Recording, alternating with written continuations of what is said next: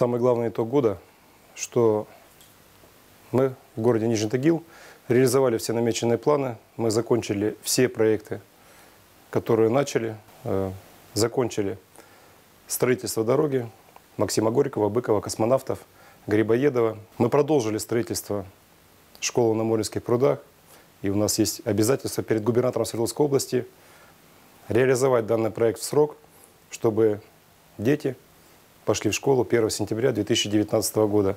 На сегодня мы заканчиваем проекты и переходим в государственную экспертизу по строительству моста через Тагильский пруд.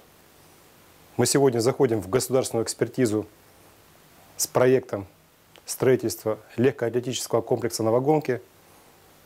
Мы сегодня зашли в государственную экспертизу и попали в федеральную государственную программу по строительству детских садов с ясельными группами.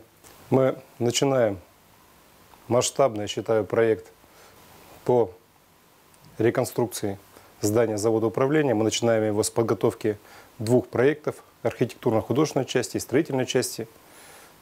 Обязаны его закончить к сентябрю 2019 года. Мы выполнили все взятые на себя обязательства в рамках реализации программы «Комфортная городская среда». Мы закончили и реконструкцию девяти дворов, мы закончили строительство парка «Народный», который сегодня является действительно одним из любимых мест тагильчан. Это по вечернее время и по выходным дням заметно. Мы залили там корт, и на сегодня это станет точкой притяжения парка и в зимнее время. Мы на сегодня переходим к завершающей стадии реализации проекта «Светлый город». Со следующего года мы заходим в сельские территории. Для меня э, самое главное, что э, те задачи, которые стали перед Думой на 2018 год, э, были выполнены, что Дума по-настоящему начала работать, поскольку выборы у нас депутатов были в конце прошлого года. На сегодня депутаты приобрели необходимый опыт, налажен контакт с избирателями в своих избирательных округах, что наказы, которые мы планировали выполнить в 2018 году, они на сегодня выполнены. Мы уже думаем над тем, что нужно будет реализовать в 2019 году. А, что прошло 22 заседания Думы, рассмотрены ключевые вопросы для города, связанные и с бюджетом, с изменением устава. Прошли выборы главы города в 2018 году, что было совершенно новое для Нижнетагильской городской думы. Ну и радует то, что все проекты, которые мы в городе намечали сделать в 2018 году, на сегодня не выполнены сделано было немало. Хотя бы начнем вот с этого объекта городской дворец молодежи. Ведь наконец-то мы э, сделали зрительный зал. Конечно, есть еще проблемы немножко у нас с фасадом здания, но я думаю, что за год-два мы его осилим, до конца мы его все-таки доделаем. Если говорить о школах, то 56-я школа. Все, кто там был, конечно же, мы сами не ожидали, что он так получится. Что все-таки, конечно, вот это индивидуальный дизайн всех кабинетов, которые там сегодня есть, наверное, все-таки мы считаем об этом, говорит глава Владислав Юрьевич, что все-таки все школы, которые мы сегодня будем э, приводить в порядок, в надлежащий вид, они выглядеть должны гораздо лучше, чем эта школа. Соответственно, планка поставлена, и мы должны ее преодолевать. Москвичи отзванивались по поводу манежа. Та компания, которая нам э, проектирует э, манеж легкоатлетический, все, документация готова, она пошла уже на экспертизу. У нас на контроле находится исполнение программы региональной капитального ремонта многоквартирных домов. Всего по этой программе было запланировано 54 дома отремонтировать с опережением на 3 месяца. Программа капитальных ремонтов была завершена и сейчас уже выполняется работа следующего года. Кроме этого было поменено 90 лифтов. Все работы в установленные сроки были выполнены и сегодня значит, жители могут пользоваться новыми подъемниками. Кроме этого мы реализуем второй год уже программу формирования комфортной городской среды. Тоже большая, скажем так, у жителей потребность в благоустройстве дворовых территорий. 9 э, дворов, дворов было э, отремонтировано вновь, то есть поставлено новое оборудование, выполнены новые проезды. Э, в эти дворы входило 48 многоквартирных домов. В общем-то, э, большинство жителей довольны результатом проведенной работы. Мне бы хотелось отметить, что в этом году знаменательным событием стало то, что началось строительство самая большая школа на 1200 мест. Школы такого масштаба в нашем городе не было. И вообще это первая школа за 23 последние года, которую мы строим в Нижнем Тагиле. Это так здорово, потому что эта школа совершенно будет нового типа, не похожа на все остальные. И масштаб ее действительно впечатляет.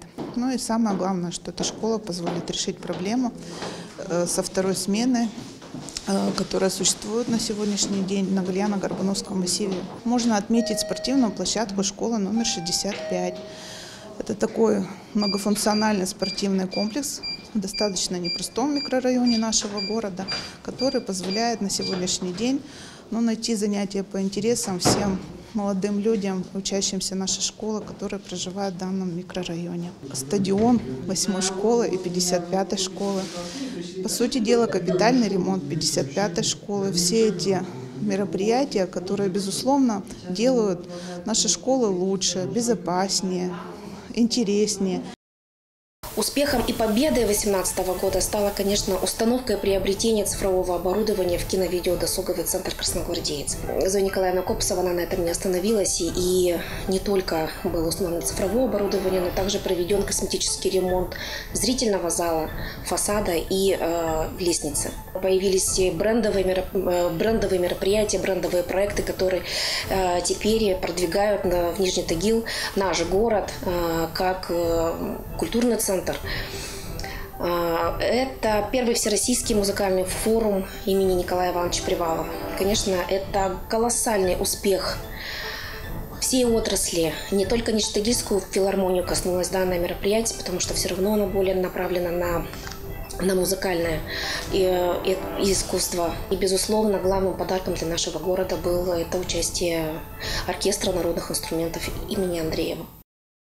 Начали э, проводить определенные ремонтные работы в наших учреждениях. Вот, э, э, например, на Пархоменко 37 был постелен паркет для баскетбольного зала. Это долгожданное, в общем-то, ну, скажем так, событие для наших баскетболистов, потому что о Тагильском зале ходили легенды. Конечно же, хотелось бы огромное спасибо сказать и Владиславу Юрьевичу Пинаеву, потому что э, стали обращать внимание не только на материально-техническую базу, но еще и приглашать достаточно таких ну, знаковых и великих спортсменов. Э, это мастер-классы Александра Попова, мастер-классы Александра Легкова, которые прошли в нашем городе.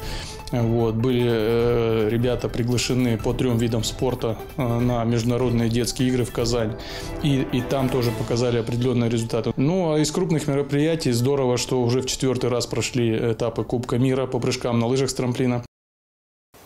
Я считаю, что в 2018 году мы сделали достаточно большой объем работы, но 2019 год нам предстоит сделать еще больше, поэтому планов большое количество, включая участие города по поручению губернатора реализации национального проекта «Комфортные и безопасные дороги». Нам не хватит и спортивных сооружений Центра единоборств, который мы начнем строительство в связи с соглашением подписанного губернатором Свердловской области и Федерации бокса Российской Федерации. Нам нужны спортивные объекты.